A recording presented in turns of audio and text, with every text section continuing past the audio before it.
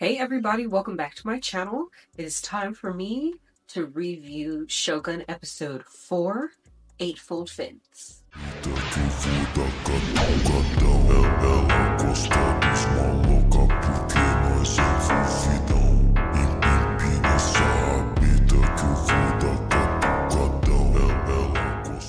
So episode 4 opens up with a messenger running through Izu.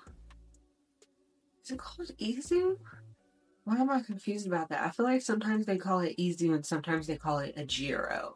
Whatever. So there's a messenger running to Omi's house to deliver a message that his uncle's going to be coming to town and he's bringing Toranaga. So then we see the whole village scramble to get the village together for their arrival. Could you imagine having to run outside your house and like make sure your lawn is neatly manicured and all the things because so you know what? Actually we do do that don't we? Our little individual cities will definitely clean up when like a governor's coming to town or the president's coming to town. Yeah we do the same thing. The police will be out there cleaning up the homeless and stuff. Yeah we do do that. Down in the galley we see mariko telling fuji that she is now to become the consort to blackthorn Y'all already know how I feel about Fuji. I don't know why they're playing with my girl like this. I mean, I'm not a Blackthorn fan, but no part of me thought Blackthorn would be into it, so I wasn't too stressed out.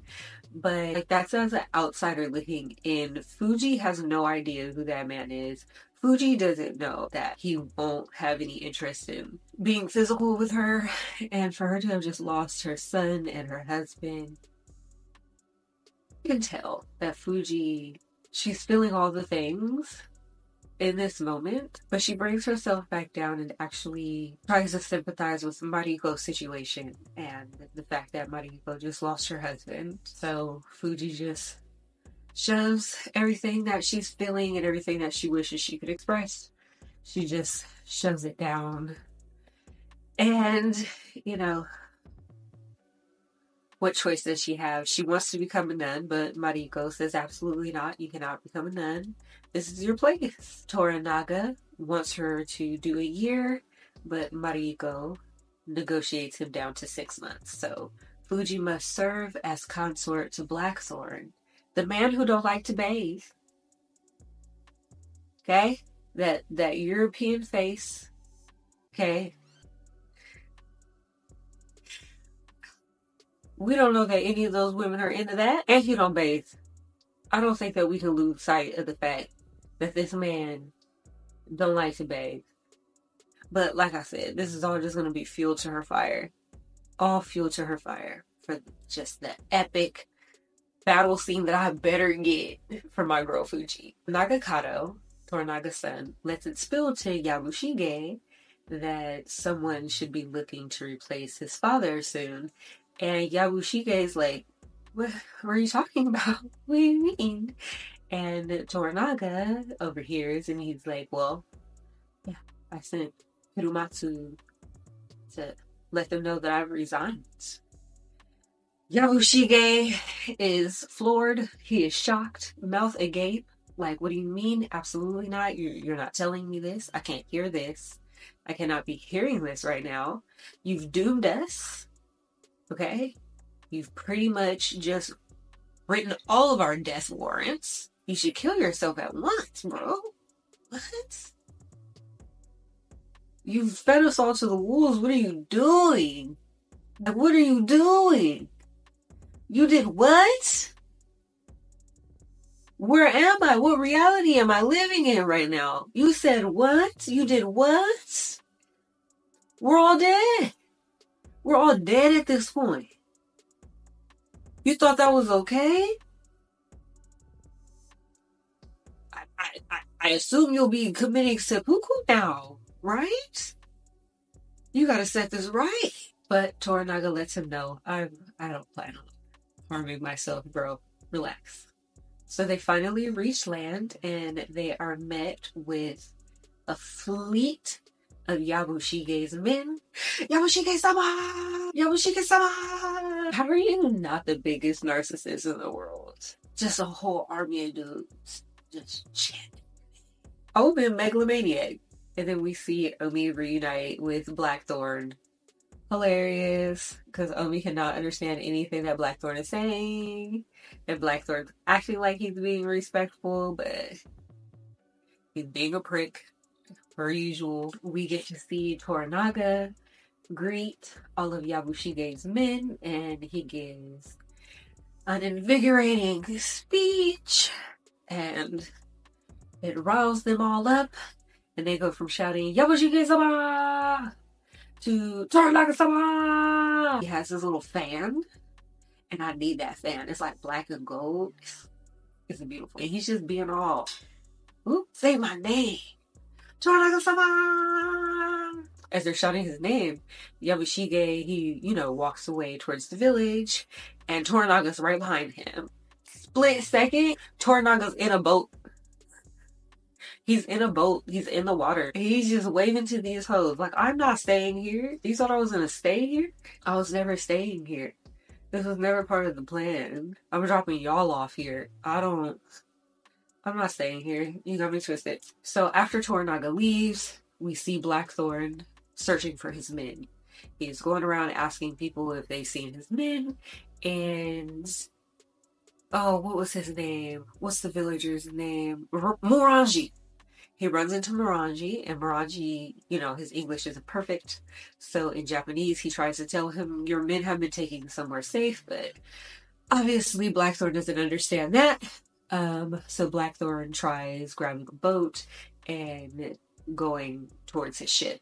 Um, but I believe a soldier stops him. A soldier stops him, but he doesn't understand why he's being stopped. Mariko shows up and she explains to him, You unfortunately are not allowed to board your ship without permission. Obviously, he's not getting any kind of permission because Toranaga just floated his ass away. Blackthorn is obviously upset rightfully upset. He thought this was gonna go a completely different way than it's actually going. Next, Mariko takes him to the home that he will be staying in. Very nice. He has servants and he has a consort. And he does not want Fuji as a consort. Which, if I were Fuji, I would have heard that and been completely relieved. And I was. I was totally relieved. I mean, I knew that was going to happen. Blackthorn doesn't give me that vibe. But either way, she's going to be there to help look after the house, look after the finances, and all that good stuff. Blackthorn, again, is understandably upset. He refuses all of it, he doesn't want it. He says that, you know, he came here on very clear terms and he does not want to be playing these games. Mariko explains to him he doesn't have a choice and she wants him to just be patient. I don't know if Mariko has an understanding of the world that Blackthorn comes from, even though it's not really all that relevant because that's not the world that they're currently living in, and she needs to help him understand their world. But I'm sure having an understanding of where he comes from could help her help him, you know? Mariko really does a fantastic job of helping him see you're in a completely different world, baby.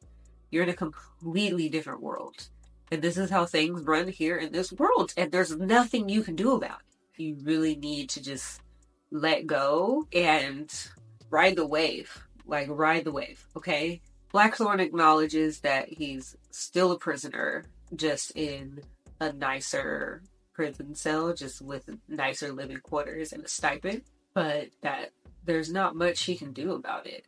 And then we see Yabushige having drinks with his nephew, and they strategize on how he can stay in the game.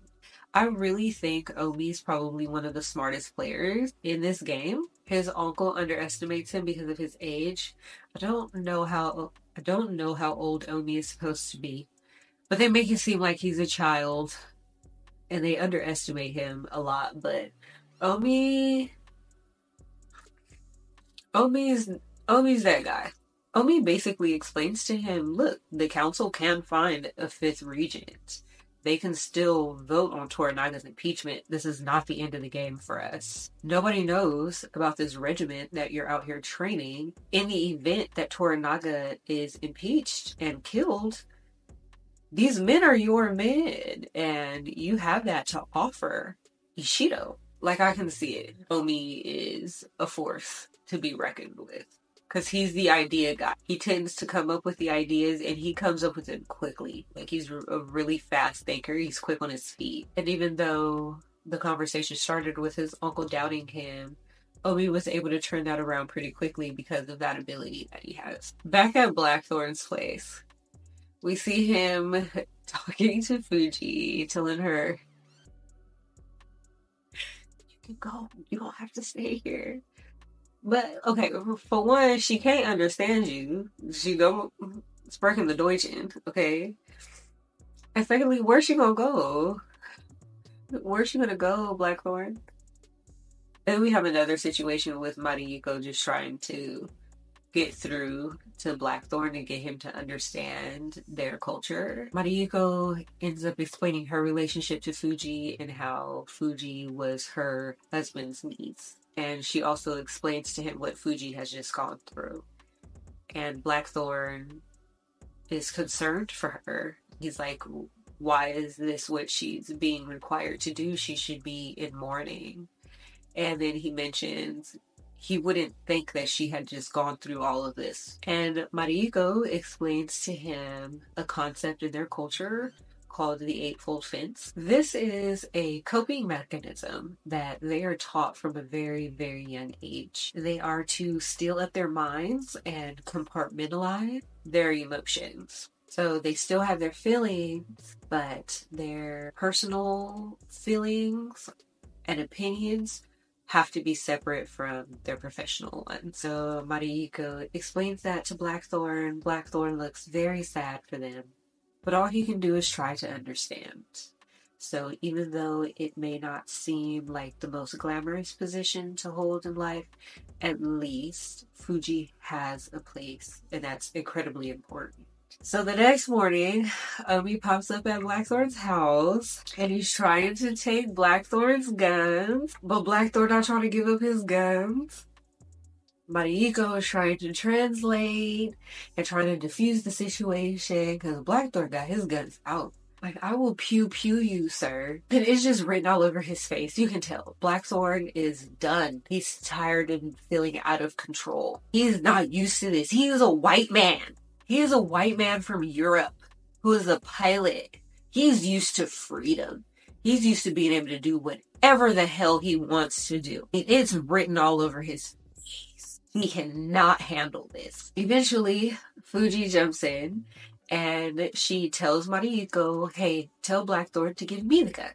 Well, Blackthorn's like, I'm absolutely not doing that. Mariko explains to him, look, Fuji is your consort and if she's pledged to protect you and these guns. She will protect them with her life. You can trust her. Go ahead and give her the guns. He still hesitates, but then Fuji pops off at him. Fuji got to get in her irritated voice, step all out of character for a cool, calm, and collected Fuji. She had to jump outside of herself and let him know, hand me these guns. Give me these guns, boy. Stop playing around. So that works and he gives her the guns as he should. And you see her pass one to one of the servants, and she keeps one. Omi then tries to step to Fuji and ask her to hand over the gun. Fuji,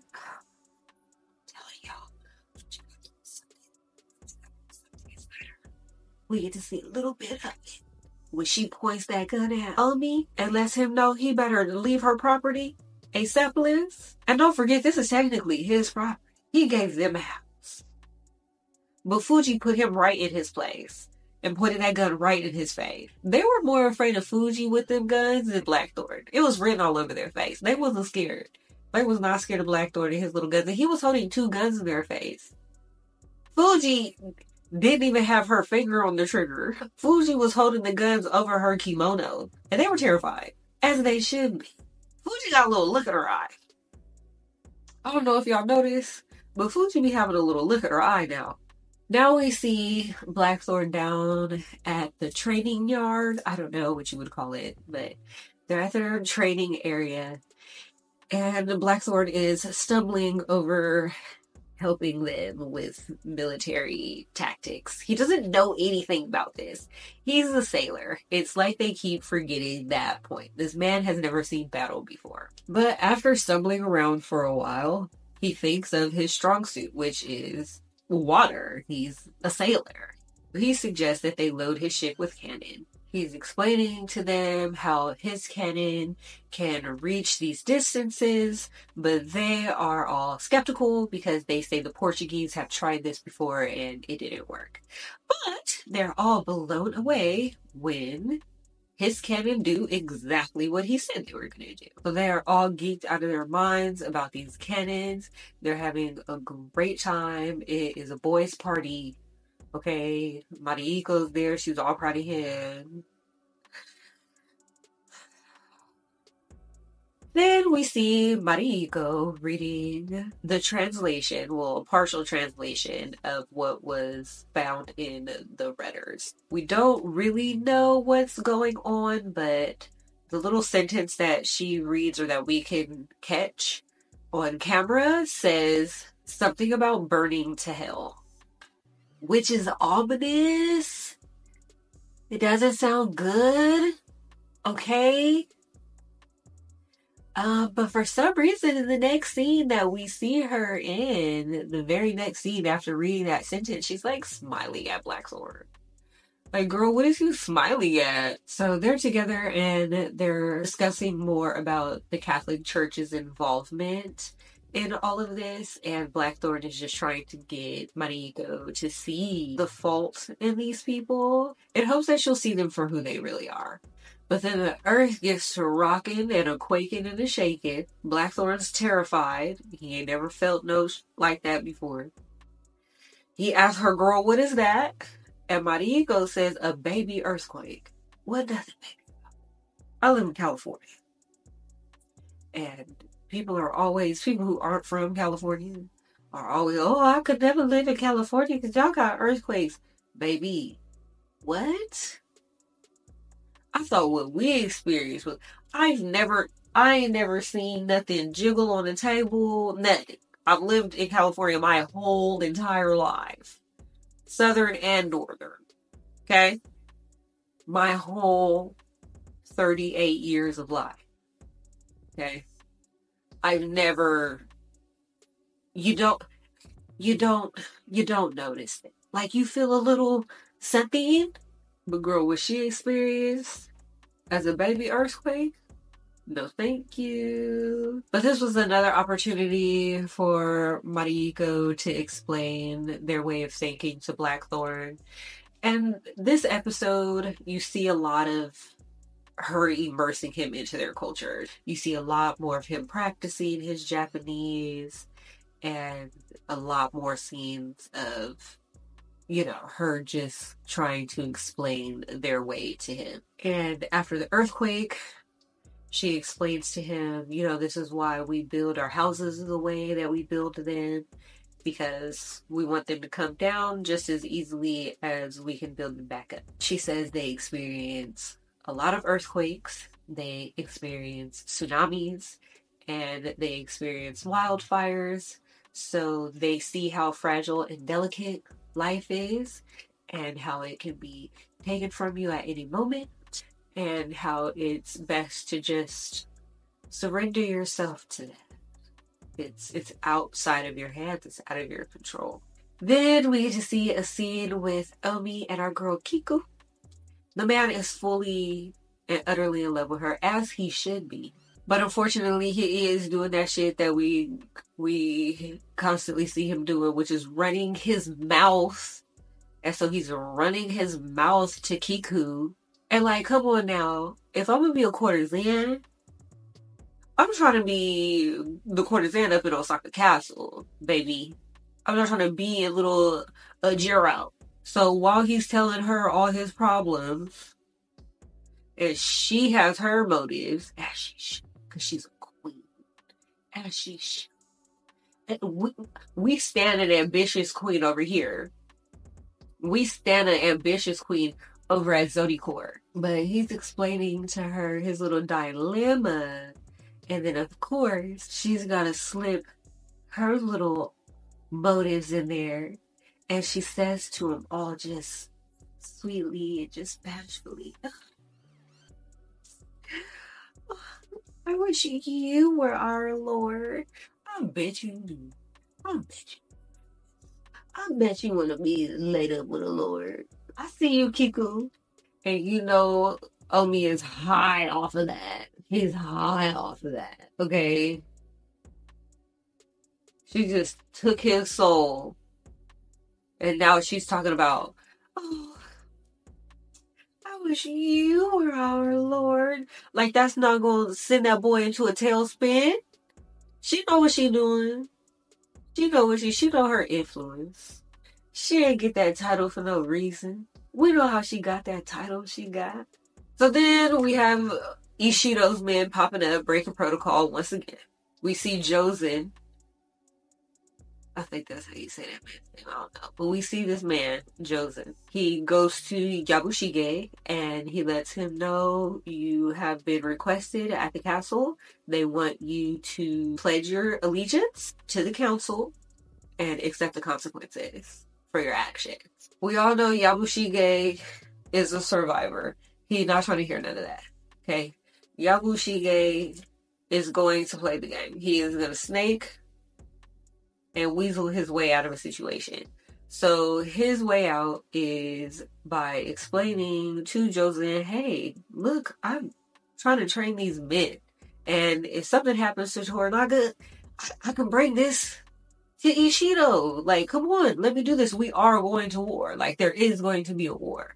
And trust me, Ishido is going to want me as an asset. He suggests that they spend the night and come back in the morning because their men are done training right now, but come back in the morning and I'll show you what we've been up to. Trust me, you're going to want to get in on this. Back at Blackthorn's place, they're having dinner, and Blackthorn wants to offer Fuji a gun as a gift. Fuji is looking at the gun and she's like, What can I even do with this? Blackthorn says at his mouth, I will train you on how to use this and you will be the most fearsome woman in all the Japans. He is giving this to her so that she can protect herself. I don't know why Mariko doesn't translate that that way to her. I don't know if it would have made a difference. But I mean, I kind of do because the way Mariko translates it to Fuji is she tells her it's so that you can protect him. And Fuji's response is, I, I would rather pull a gourd from a horse. Like, why would I want to? I don't know why Mariko translated it that way. I think maybe if she had translated it the way that he meant it, maybe Fuji would have taken it a little bit different. But who who knows? Maybe she wouldn't have liked the gift regardless. And then Fuji goes to her room and she brings out her father's swords to give to Blackthorn. Blackthorn is incredibly touched, but he does not want to take these swords. He's like, there's no way, like, these are your family heirlooms, and I'm just subdued that you're being forced to, you know, be a consort for. Like, no, this is, no, I cannot take this. But they point out to him that with his title, it's not proper for him to walk around without any swords, and it would be disrespectful for her to be the consort to a man who has no swords. So he ends up taking them. He's very thankful for the gift. I don't know. I I think he and Fuji, if Fuji spoke, if they spoke the same language, I think him and Fuji would have like a good friendship. Because I think Fuji would have poisoned him in his sleep but I think the fact that he is not forcing himself on her, I think she's like, okay, maybe he's all right. Thank God. Thank God this man don't want no parts of me, Lord. Thank you. In the next scene, we see Omi and Nagakado discussing what they can do to prevent Ishido's men from seeing their secret weapons. Omi makes the suggestion that Nagakado send word to his father. But Nagakado, and I think Omi is aware of this, but Nagakado is a spoiled little brat and he desperately wants to prove that he's not. And he's going through one of those phases where it's like, I'm a big boy. Whatever. Whatever. I do what I want. He's having one of those. He's having one of those moments this is the phase of life that he's in. He doesn't want to have to go running to his daddy. He wants people to respect him. And Omi knows that and is playing on that. He's definitely planting a seed in Nagakado because he doesn't want to be held responsible. He definitely does not want Ishido's men to see their weapons, but he can't be responsible for stopping them. So he plants the seed in Nagakado. Nagakado ends up saying to Omi, look, don't contact my father. I'm going to handle this. Young man, young man, young man, how are you going to handle this? How are you going to handle this? So then we surprisingly catch Blackthorn looking for a hot spring to take a bath in, really turning him into a civilized chap. Mariko finds him, and they end up having a very vulnerable moment. It was very sweet. It was not romantic. I I understand. Like again, I didn't read the book, so I don't know. But I, I the general theme that I've picked up is people think that these two are going to end up together, and I'm like, maybe they're going to change the story a little bit because I haven't seen any romantic tension. I haven't seen any romantic tension between these two people. They have not interacted in any way that makes me feel like one is attracted to the other one. Okay? maybe Blackthorn because she's pretty, but I mean, again, there's I I haven't seen it. I have not seen it. Is the chemistry is not there for me. Um, in this moment, I could tell that they were trying to like have like this vulnerability moment, and it it it read like it did a good job. Like I could sense the like I could sense the chemistry there, but it wasn't a romantic chemistry. It was a friendly, I trust you and I feel like I can open up to you in this moment. But anyway, so Mariko partially explains her true motives for serving Toranaga. She doesn't say much. She just tells Blackthorn that he's wrong about his assumptions on why she's serving. We see some flashbacks of her father, but again, it doesn't paint a full picture. She just lets him know that it has to do with an injustice that she suffered, she mentions that for a long time she couldn't figure out a solution and that Toranaga recently offered her a solution. Mariko asks him where he's from and he tells her he's from London. They have this cute little moment of him telling her what they would do if she were to come from Japan to London, if they would have a night out. He claims the queen would receive them. I don't believe it. I guess you could say that was romantic, but again, it came out of nowhere. Like it just came out of nowhere. Why would you guys be going on a date in London? Whatever.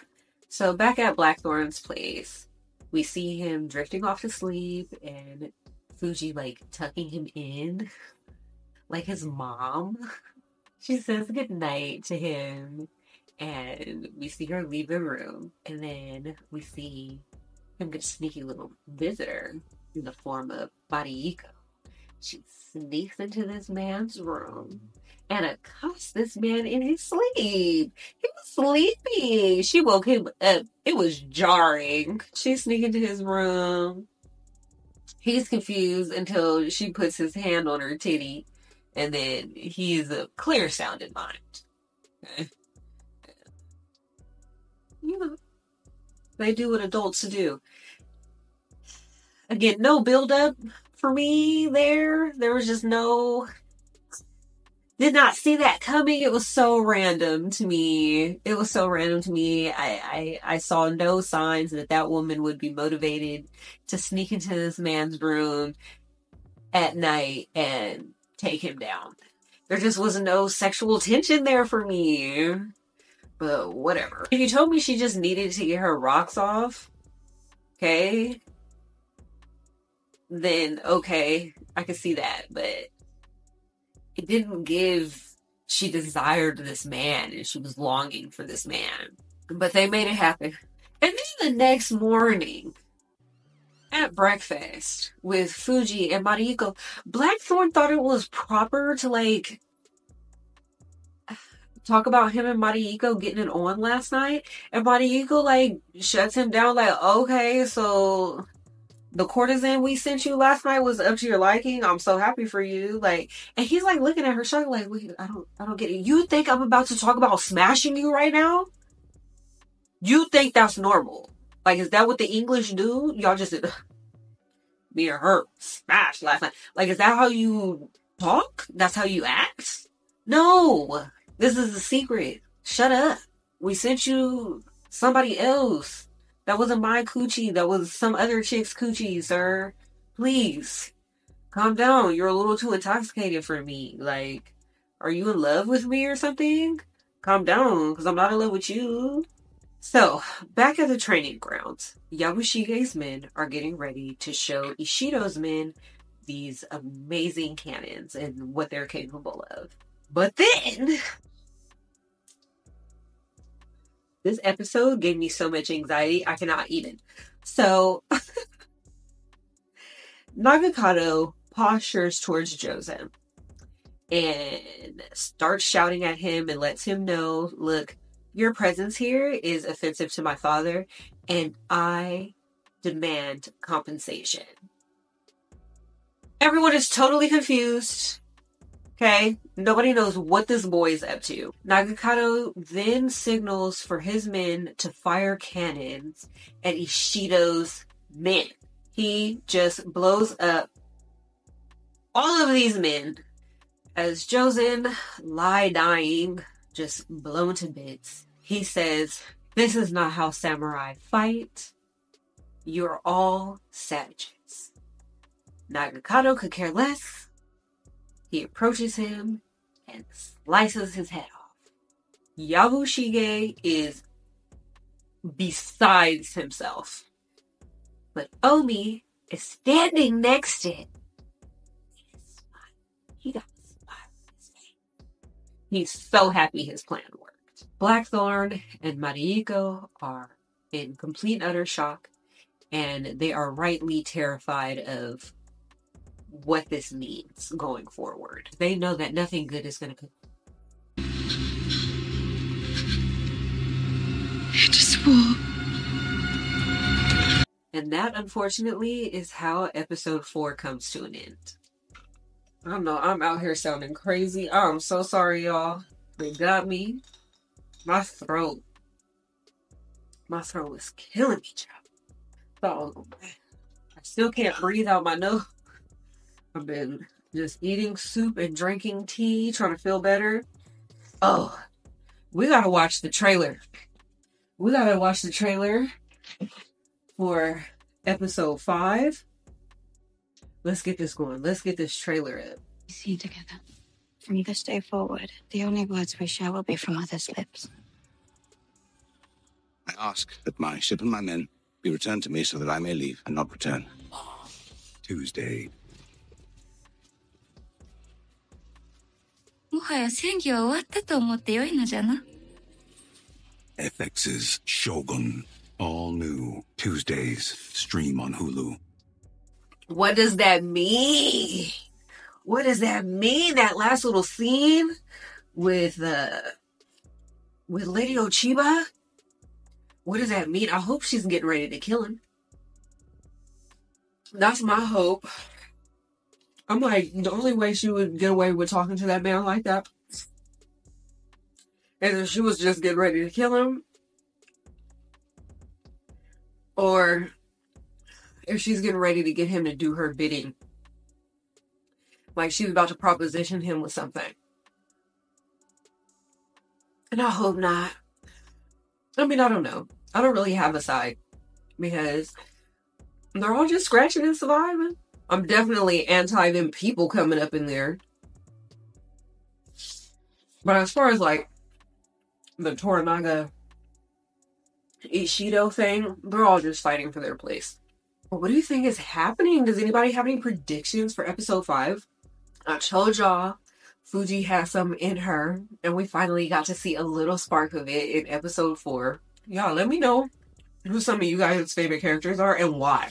You gotta let me know why you love them so much. And what do you guys think about Blackthorn and Mariko's romance?